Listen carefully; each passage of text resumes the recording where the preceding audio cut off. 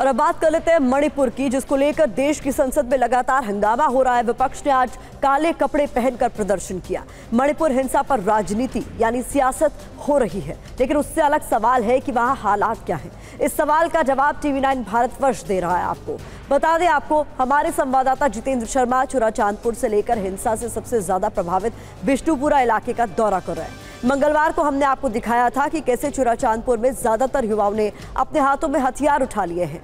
आज हम आपको बिष्णुपुरा इलाके में हथियारों की निगरानी में हो रही खेती की हैरान करने वाली तस्वीरें दिखाने वाले हैं। तस्वीरें भी आपके सामने हैं। मणिपुर की राजधानी इम्फाल से करीब 45 किलोमीटर दूर बिष्णुपुरा जिला है। यहाँ कभी भी मैतेई और कुकी दोनों गुटों के बीच आमने सामने की फायरिंग शुरू हो जाती है। यहाँ के लोग हर पल खौफ के साय में जीने को मजबूर हैं। ऐसे हालात में यहाँ मैतेई समुदाय के किसान किस तरह अपने खेतों में काम कर रहे हैं, इसकी ग्राउंड रिपोर्ट आपको ज़रूर देखनी चाहिए।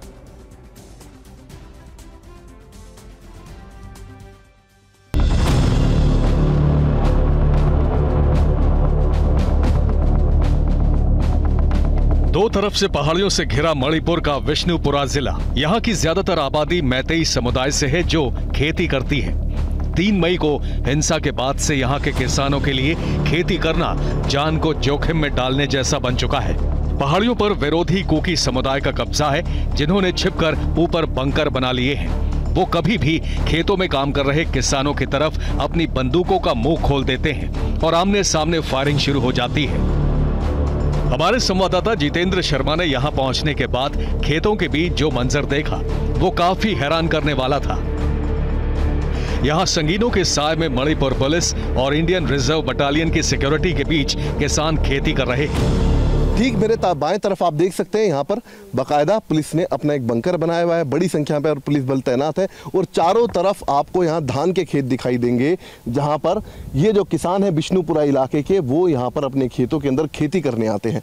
लेकिन ये जो खेती है इन धान के खेत में, वो दरअसल पुलिस के साय में हो रही है, यानी कि पुलिस सुरक्षा के साय में की जा रही है। ठीक सामने देखिए किसान इस वक्त वो खेती कर रहा है और ठीक सामने देखिए किस तरीके से जो मणिपुर पुलिस और इसके अलावा आईआरबी, यानी कि के जो जवान है इंडियन रिज़र्व बटालियन के। वो इस वक्त आपको यहाँ पर उनकी सुरक्षा में तैनात यहाँ पर दिखाई देंगे। हिंसा के बाद फ़सलों को नुकसान हो रहा था। यहाँ के किसानों ने मणिपुर पुलिस से मदद मांगी। इसके बाद खेतों के बीच स्टेट पुलिस और आईआरबी ने पोस्ट बनाकर सुरक्षा और निगरानी शुरू की।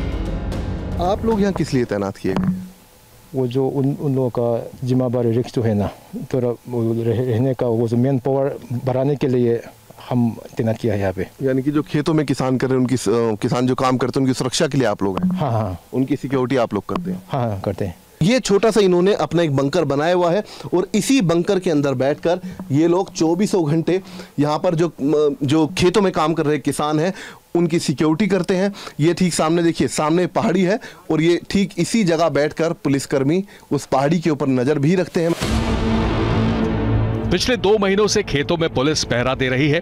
अलग अलग शिफ्ट्स में 24 घंटे यहाँ सिक्योरिटी होती है। सुरक्षा में किसान मजदूर खेती करने आते हैं और लौट जाते हैं। विष्णुपुरा के ज़्यादातर उन इलाकों में ऐसे ही हालात हैं जहाँ खेत पहाड़ों से घिरे हैं और पहाड़ों पर विरोधी गुट का कंट्रोल है। मणिपुर में लोगों के बीच दहशत का माहौल है और खुद को बचाने के लिए लोगों ने बंकर बना लिए हैं। इन बंकर में हथियार रखे हुए हैं। संवाददाता जितेंद्र शर्मा की एक और रिपोर्ट आपको दिखाते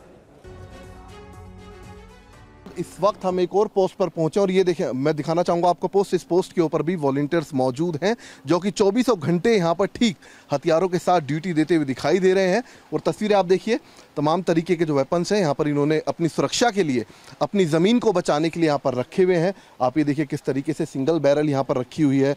इसके अलावा ये देखिए, अपनी ज़मीन को बचाने के लिए किस तरीके से चौबीसों घंटे ये सामने नज़र रखते हैं। ठीक सामने आप ये पहाड़ी देख रहे हैं ये वो पहाड़ी है जहाँ से फायरिंग होती है और ठीक ये सामने देखिए बंकर यहाँ पर बनाया गया है।